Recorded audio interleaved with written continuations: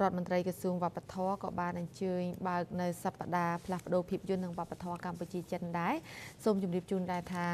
លោកជំទាវបណ្ឌិតសភាចាភឿងសក្កណារដ្ឋមន្ត្រីក្រសួងវប្បធម៌និងវិចិត្រសិល្បៈនៅរសៀលថ្ងៃទី7ខែសីហាបានអញ្ជើញជាធិបតីបើកព្រឹត្តិការណ៍សប្តាហ៍ផ្លាស់ប្ដូរភាពយន្តនិងវប្បធម៌កម្ពុជាចិនហើយការចូលរួមនោះក៏មានវត្តមានរបស់ លោកជំទាវលូជីងសមាជិកអចិន្ត្រៃយ៍គណៈកម្មាធិការបកទីក្រុងហ្វុងហ្វូជើព្រមទាំងគណៈប្រតិភូទាំងអស់នឹងមាននៅ ការចូលរួមពីឯកឧត្តមលោកជំទាវលោកលោកស្រីផលិតករសិល្បករសិល្បករនីនិងមាននឹងយុវជនយុវផលិតករភាពយន្តបានចូលរួមដែរក្នុងនោះគឺលោកជំទាវបណ្ឌិតសុភាចាភឿងសក្កណាបានថ្លែងថាការរៀបចំព្រឹត្តិការណ៍នាពេលនេះ គឺជាការរួមចំណែកដ៏សំខាន់មួយក្នុងការលើកកម្ពស់កិច្ចសន្ទនាវប្បធម៌និងទំនាក់ទំនងរវាងប្រជាជននិងប្រជាជននៅស្របពេលដែលប្រទេសយើងទាំងពីរប្រពខួបលើកទី65នៃទំនាក់ទំនងការទូតនៅក្នុងឆ្នាំ2023នេះហើយទំនាក់ទំនងរវាងប្រទេសនិងប្រជាជនយើងទាំងពីរមានតាំងពីសម័យកាលយូរលង់មកហើយ ឈរលើមូលដ្ឋាននៃទំនាក់ទំនងជាប្រវត្តិសាស្ត្រនេះថ្នាក់ដឹកនាំនៃប្រទេសទាំងពីរបានរួមគ្នាប្រឹងប្រែងពូនជ្រុំនៅចំណងមិត្តភាពនិងកិច្ចសហប្រតិបត្តិការទ្វេភាគីឲ្យកាន់តែរឹងមាំថែមទៀតជាលំដាប់រហូតឈានដល់ភាពជាដៃគូយុទ្ធសាស្ត្រគ្រប់ជ្រុងជ្រោយទន្ទឹមនឹងនោះក្រោមគំនិតផ្ដួចផ្ដើមនៃយុទ្ធសាស្ត្រខ្សែក្រវ៉ាត់និងផ្លូវប្រទេសកម្ពុជានិងចិនក៏បានបដិញ្ញាបន្តពង្រីកនៅកិច្ចសហប្រតិបត្តិការលើវិស័យសំខាន់សំខាន់ក្នុងនោះដូចជាវិស័យវប្បធម៌ក៏ត្រូវបានលើកកម្ពស់ តភ្ជាប់រវាងប្រជាជននិងប្រជាជន ដែលជាមូលដ្ឋានគ្រឹះក្នុងការកសាងសហគមន៍វាសនារួម ដោយរួមរស់នៅជាមួយគ្នាប្រកបដោយសុខសន្តិភាពនិងការអភិវឌ្ឍលោកជំទាវរដ្ឋមន្ត្រីបានបន្តថាក្រោមក្របខ័ណ្ឌនៃកិច្ចព្រមព្រៀង ផ្នែកវប្បធម៌រវាងរាជរដ្ឋាភិបាលកម្ពុជានិងរដ្ឋាភិបាលនៃសាធារណរដ្ឋប្រជាមានិតចិននិងក្រោមក្របខ័ណ្ឌនៃកម្មវិធីសហប្រតិបត្តិការលើវិស័យវប្បធម៌រវាងក្រសួងវប្បធម៌និងវិចិត្រសិល្បៈកម្ពុជា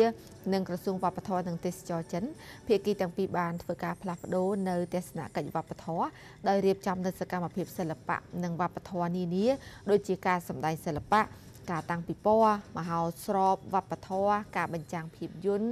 ការសិក្សាស្រាវជ្រាវ និងការគ្រប់គ្រងដល់កិច្ចសហប្រតិបត្តិការផ្នែកបុរាណវិទ្យា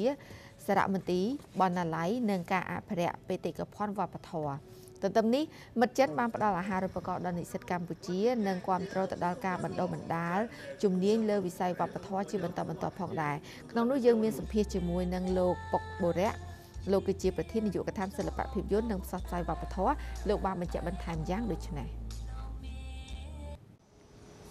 បាទអឺសូមអរគុណការរៀបចំកម្មវិធីផ្លាស់ប្ដូរសប្តាហ៍ភាពយន្តវប្បធម៌កម្ពុជាចិនដែលយើងរៀបចំនៅពេលនេះអឺគឺ តាមពិតទៅយើងក្រងធ្វើតាំងពី2ឆ្នាំពីឆ្នាំ2019ក៏ប៉ុន្តែនៅពេលដែលបញ្ហា Covid រាតត្បាតនៅក្នុងពិភពលោកទៅការរៀបចំក៏បានអាក់ខានក៏ប៉ុន្តែយើងក៏បានទៅចូលរួមនៅក្នុងមហោស្រពនៅក្នុងប្រទេសចិនបាន2លើករួចមកហើយដែរអញ្ចឹងការរៀបចំនៅថ្ងៃនេះគឺជាការចាប់ផ្ដើមមួយនៃទំនាក់ទំនងរវាង ការផ្លាស់ប្ដូរវប្បធម៌និងភាពយន្តរវាងកម្ពុជា ដែលមាននាយកដ្ឋានភាពយន្តជាតំណាងជាមួយនឹងខាងភៀកគីចិនដែលមានទីក្រុងហ្វូជូក្នុងការធ្វើការផ្លាស់ប្ដូរនិងស្វែងរកកិច្ចសហប្រតិបត្តិការគ្នា ដើម្បីយើងធ្វើមិនជួយគ្នាទៅវិញទៅមកក្នុងការ ប្រើប្រាស់នៅសក្តានុពលនៃទីតាំងថតរវាងប្រទេសទាំងពីរដើម្បីជាកន្លែងថតហើយក៏ដូចជាការបង្កើតឱកាសដើម្បីឲ្យផលិតកររបស់យើងនឹងមានឱកាសស្វែងរកដៃគូសហការផលិតភាពយន្តរួមគ្នានេះជាជាគោលបំណងរួមដែលយើងរៀបចំនៃឱកាសនេះបាទ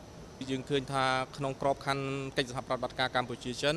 ដែលមកដល់ពេលនេះយើងឃើញជាខួបលើកទី65ហើយដែលយើងបានចងចំណងការទូតរវាងគ្នានឹងគ្នាហើយយើងបានជួយគ្នាទៅវិញទៅមកច្រើនហើយក្នុងនោះវិស័យភាពយន្តក៏យើងចាប់ផ្ដើមមានទំនាក់ទំនងក្នុងការផ្លាស់ប្ដូរគ្នាទៅវិញទៅមកអញ្ចឹងឱកាសដែលយើងនឹងរៀបចំនេះនៅឱកាសនេះហើយនឹងក៏ដូចជាយើងនឹងគ្រោងទៅរៀបចំនៅប្រទេសចិននៅទីក្រុងហ្វូជូនៅក្នុងខែក្រោយក៏ជាឱកាសដើម្បីឲ្យផលិតករយើងបានជួបជុំធ្វើការផ្លាស់ប្ដូរ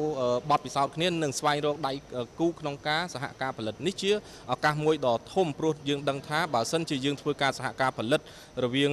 កម្ពុជានិងចិនផលិតករភាពយន្តកម្ពុជានិងចិនផលិតផលនោះនឹងបានពង្រីកទីផ្សារមិនត្រឹមតែក្នុងស្រុកចិនប៉ុន្តែវាអាចនឹងរីកទីផ្សារទៅក្នុងប្រទេសចិនមិនត្រឹមតែនៅកម្ពុជាប៉ុន្តែអាចរីកទីផ្សារទៅក្នុងប្រទេសចិនដែលជាឱកាសនេះគឺជាការ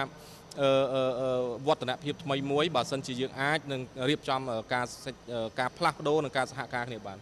កន្លងមកអឺក្នុងក្របខ័ណ្ឌអឺយើងធ្វើអឺសហប្រតិបត្តិការជាលក្ខណៈអឺសហការផលិតរវាងកម្ពុជាចិនអឺតាំងពី2018មកយើងមានភាភាគីចិនមកថតនៅកម្ពុជាយើងច្រើនអឺនៅពេលដែលគេមកថតនៅយើងច្រើនប្រើប្រាស់ទឹកដីយើងចំណុចទី1ដែលសំខាន់គឺបានបង្ហាញអំពីកម្ពុជាទៅដល់ប្រជាជនទៅដល់ទស្សនិកជនរាប់លានអ្នកដែលរស់នៅប្រទេសចិននេះជាផលប្រយោជន៍យ៉ាងធំ ហើយអ្វីដែលជាផលប្រយោជន៍បន្តទៀតគឺនៅពេលដែលពួកគាត់មកគឺគាត់ប្រើប្រាស់សក្តានុពលរបស់យើងផ្សេងផ្សេងៗទាំងកម្លាំងពលកម្មធនធានបច្ចេកទេសសម្ភារៈនិងការចំណាយផ្សេងផ្សេងៗនៅក្នុងស្រុកយើងអាហ្នឹងគឺបានមកដោយផ្ទាល់ដល់ប្រជាជនរបស់យើងអញ្ចឹងតាមរយៈកិច្ចអឺសហការអឺផលិតនេះគឺជារឿងមួយដ៏សំខាន់យើងមានប្រយោជន៍សម្រាប់ភាពយន្តយើងខ្លាំងមែនទែនចានេះជាការផ្លាស់ប្ដូរនៅវប្បធម៌និងភាពយន្តការផលិតភាពយន្តចាអញ្ចឹងអឺ ការបញ្ជាក់បន្ថែមចាពីលោកអឺប៉ុកបុរៈដែលបានអឺលើកឡើងអំពីអត្ថប្រយោជន៍ច្រើន សម្រាប់ការផ្លាស់ប្ដូរភាពយន្តនិងវប្បធម៌រវាងកម្ពុជាជាមួយនឹងប្រទេសចិន ហើយអឺភ្ជាប់ជាមួយនឹងការលើកឡើងពាក់ព័ន្ធទៅនឹងអឺភាពយន្តនេះផងដែរក៏សូមជម្រាបជូនដែរថាកន្លងទៅយើងឃើញហើយថាសម្រាប់ ការផលិតនៅខ្សែភាពយន្តផ្សេងផ្សេងៗប្រទេសចិនក៏មានមកថតនៅក្នុងប្រទេសកម្ពុជារបស់យើងបាទដែរអញ្ចឹងគេក៏ផ្សាយអំពីអឺទឹកដីរបស់យើងចាទីតាំងទីកន្លែងវប្បធម៌របស់យើងអញ្ចឹងទៅនៅក្នុងខ្សែភាពយន្តធម្មតានៅពេលដែលបង្ហាញទៅគេចាប់អារម្មណ៍គេមើលឃើញអូទីតាំងនេះថតនៅក្នុងប្រទេសកម្ពុជាអញ្ចឹងក៏ជាការផ្សព្វផ្សាយទេសចរមួយសំខាន់ដែរណាចានេះជាជ្រុងមួយហើយអឺយើងបានលើកឡើងច្រើនពាក់ព័ន្ធទៅនឹងចំណុចនេះ